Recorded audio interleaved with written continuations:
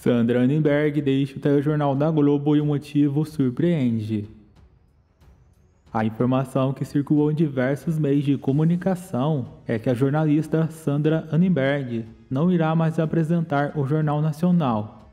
Como Sandra fazia rodízios com outros jornalistas para cobrir a folga nos finais de semana e até as férias de Renata e Bonner.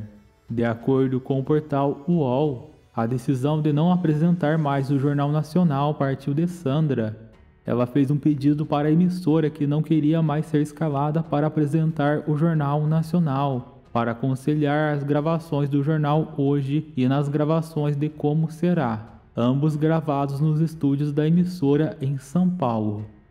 O rodízio dos substitutos nas folgas dos titulares do Jornal Nacional são eles: Mona Lisa Perrone, Magil Coutinho, Ana Luísa Guimarães, Heraldo Pereira, Doni Denúncio, Rodrigo Bocardi, César Tralli e Ana Paula Araújo, segundo informa o comunicado enviado pela emissora para o portal UOL.